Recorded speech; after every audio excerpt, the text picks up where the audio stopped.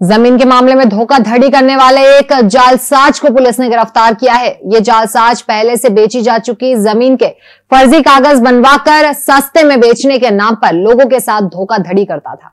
काशीपुर थाने में फर्जी कागज़ तैयार करके ज़मीन बेचने के मामले में हरचरण सिंह की शिकायत पर सुमेर कौशिक के खिलाफ धोखाधड़ी कर एक करोड़ चौदह लाख तीन सौ सतानवे रुपए हड़पने और गाली गलौच व जान से मारने की धमकी देने के मामले में रिपोर्ट दर्ज कराई गई थी। पुलिस ने इस मामले की गंभीरता से जाँच की और साक्ष्यों के आधार पर कार्रवाई शुरू करते हुए अभियुक्त सुमेर कौशिक को गिरफ़्तार कर लिया।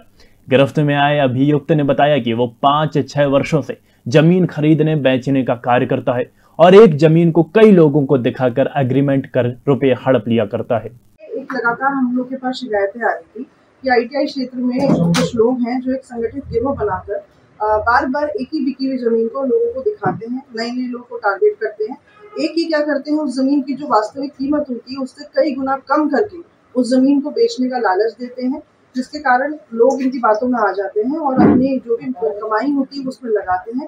फाइनली ये गिरोह क्या करता है कि ये उस ज़मीन को दिखाता है उसमें एक अग्रीमेंट भी बनाते हैं। उसके बाद इसमें जो शुरुआत में जो पैसे देने होते हैं वो भी दिए जाते हैं अकाउंट के थ्रू उसके अलावा इसमें ये रजिस्ट्री भी कराते हैं। रजिस्ट्री के बाद जब दाखिल खारिज का समय आता है तो दाखिल खारिज में ये लोग अक्सर उसमें फरार हो जाते हैं या फिर दाखिल खारिज में पता चलता है कि ज़मीन ऑलरेडी बिकी हुई है। तो इस प्रकार की ये लगभग तीन शिकायतें हमारे पास पूर्व में आ गई थी और कुछ अन्य शिकायतें भी इनके खिलाफ पेंडिंग है।